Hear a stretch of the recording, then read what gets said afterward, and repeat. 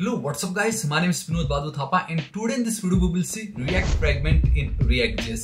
जी हाँ गाइस तो आज का वीडियो बहुत ही ज़्यादा इंपॉर्टेंट है आपको ये समझना क्योंकि इंटरव्यू में मोस्टली एकदम स्टार्टिंग में पूछते हैं what is React fragments what is fragments and believe me guys आज का वीडियो बहुत ही ज़्यादा सिंपल है but at the same time उतने ही बहुत ही ज़्यादा इंपॉर्टेंट भी है। एंड क्यों इंपॉर्टेंट है वो तो अभी अब मैं आपको इस वीडियो में बताऊँगा। तो गाइस अब हम बिना किसी देर के अपने कंप्यूटर स्क्रीन पे चलते हैं। और गाइस तो हम आ चुके हमारे कंप्यूटर स्क्रीन पे। सो आज हमें देखना रिएक्ट फ्रैगमेंट्स बिलीव मी ये बहुत ही ज़्यादा सिंपल है, लेकिन इंपॉर्टेंट भी उतना ही ठीक है? So why we need our React fragment सबसे पहले ये चीज़ ये आती है कि हमें रिएक्ट फ्रैगमेंट क्यों चाहिए, ठीक है?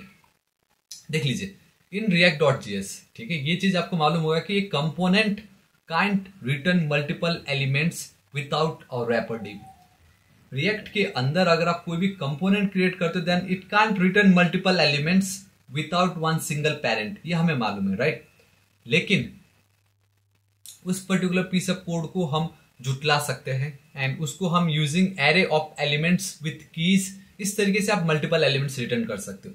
But this is hectic and then second thing इसी प्रॉब्लम को सॉल्व करने के लिए in React version 19 they introduce a fragments now which allows component to return multiple elements without adding extra nodes to the DOM now यहाँ पे ये जो without including extra nodes to the DOM इसका क्या मतलब है? मैं आपको बताता हूँ। बाय द वे अब लिखने का तरीका you need to I mean we need to import fragments from our React package library and then we need to write this way ठीक है? एंड अल्टरनेटिवली इसका एक सिंटेक्टिकल सुगर फॉर्म भी है जहाँ पे आप लाइक like, इस तरीके से सिंपल सा एक आप कह लो एस्टेमल का एक टैग है जिसमें आप कोई एलिमेंट का नाम नहीं है। टैग का नाम नहीं डायरेक्टली आपने इस तरीके से बना लिया। सो so, ये डिफरेंट डिफरेंट तरीके आई होप आपको पता चला होगा ठीक है? एंड और भी होगा यहाँ पे आप देख सकते हो।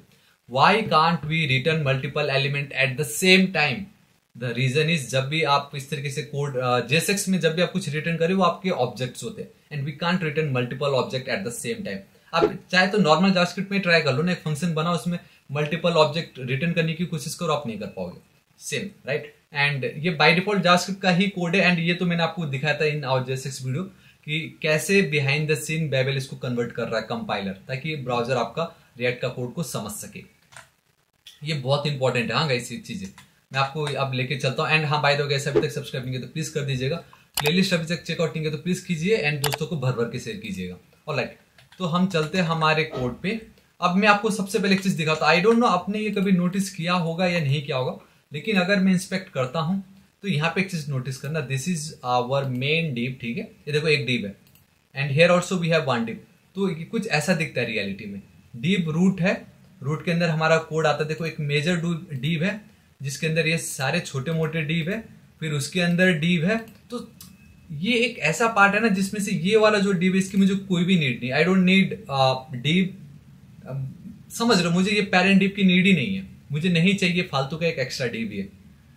तो ये जो एक एक्स्ट्रा डीव आपको दिखाई दे रहा है, जब ये डोम में कन्वर्ट होगा ना देन इसका एक एक्स्ट्रा नोड बनता है। जब हम डायनेमिक या वर्चुअल डोम की बात करते हैं या डोम ट्री की बात करते हैं, तब आपको पता है कि हर एक एलिमेंट का अपना एक ट्री में एक स्पेसिफिक नोड बनता है।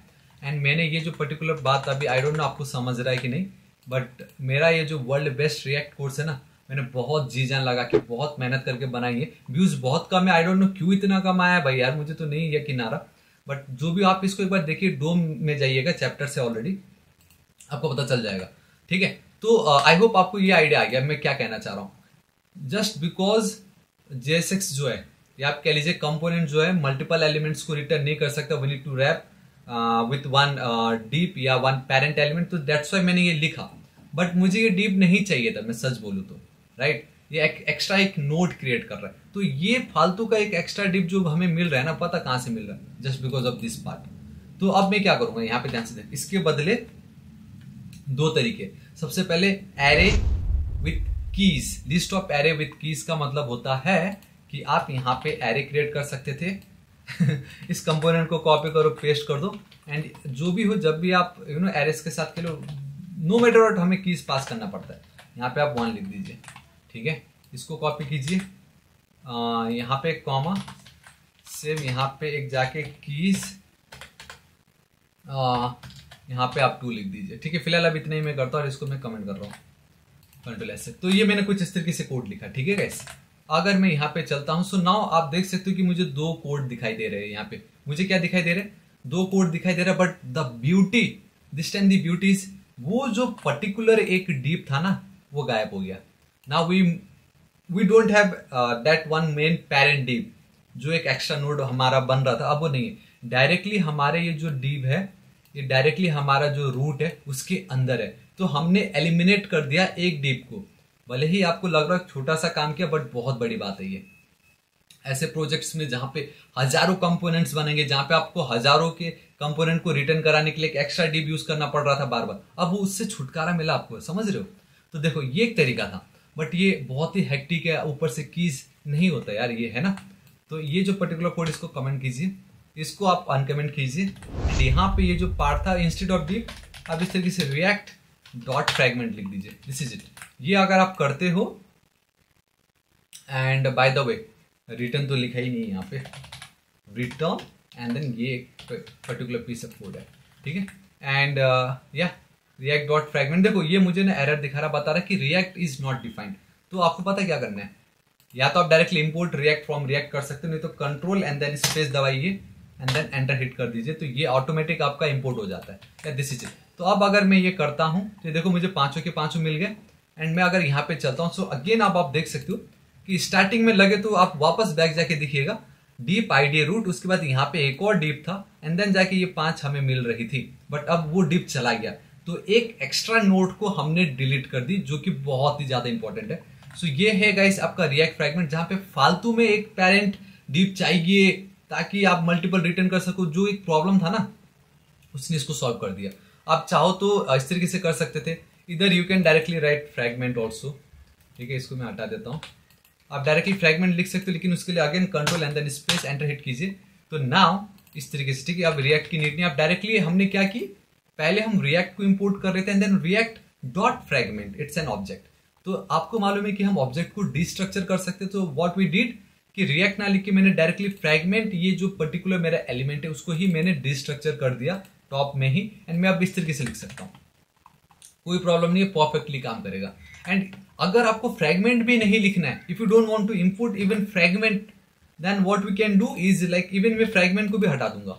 We have this syntactical sugar format of React dot fragment जहाँ पे अगर आप सिंपल इस तरीके से भी लिख देते हो, ये आपका एक पेरेंट डिप की तरह काम करेगा। बट द ब्यूटी जब आप इसको कंसोल करोगे then see there is no more error I know आपके मन में था, यार, वहाँ पे कुछ तो एरर बट कोई एरर नहीं है। And the beauty is see now जो एक पेरेंट हमें चाहिए, ताकि हम रैप करके मल्टीपल एलिमेंट्स रिटर्न कर सके, कहाँ है भाई? ये तो देखो देखो आईडी रूट तो हमारा मेन इंडेक्स डॉट एस्टेमल में मैं दिखा देता हूँ, आपको डाउट आ रहा होगा यहाँ पे, क्या चीज़ है ये? देखो इंडेक्स डॉट एस्टेमल में ना डीप आईडी रूट है। इसके अंदर हमारा सारा कोड बन रहा होता है। बाय द वे मैंने कहा ना ब्राउज़र को समझना एस्टेमल ही है। एट दी एंड में जाके आपका वो एस्टेमल कोड ही बनेगा, जब आप फाइनल में उसको बिल्ड करोगे। आना एस्टेमल से जावास्क्रिप्ट ही है बट फ़िलहाल हम रिएक्ट में लिख रहे हैं। इसके अंदर आपका कोड होता है एंड ये आपको इसलिए दिखाई दे रहा है बेसिकली इसके अंदर, क्योंकि यहाँ पे देखो ना document dot get element by ID root जिसके अंदर आपको रेंडर करना है app component and app component के अंदर मेरा ये डेटा तो इस तरीके से वो आपको दिखाई दे रहा है। बट यहाँ पे एटलीस्ट वो जो एक डीप एलिमेंट था, वो तो नहीं है। हमें छुटकारा मिला ना उससे so this is the beauty of your React dot fragment all guys तो आज इस वीडियो की इतनी आई होप आपको वीडियो बहुत ही ज़्यादा पसंद होगा। गाइस वीडियो कैसा लगा let me know in the comment section कुछ भी डाउट आ रहा है तो गाइस कमेंट कीजिए, मैं ज़रूर हूँ, मैं आपकी हेल्प ज़रूर करूँगा। मैं पूरा प्रायोरिटी दे रहा हूँ this time this React series को, कि किसी को कोई भी प्रॉब्लम हो तो मैं कमेंट में ऑलवेज रेडी हूँ। आप बेफिक्र होकर कमेंट कीजिए। And by the way guys video पसंद आए तो लाइक पसंद आए तो डिसलाइक कीजिएगा। एंड दोस्तों के साथ भर भर के share and next target is one million subscriber so अभी तक सब्सक्राइब नहीं किया तो प्लीज़ कीजिएगा। मिलता हूँ मैं आपको नेक्स्ट वीडियो में। Till then guys thank you so much take care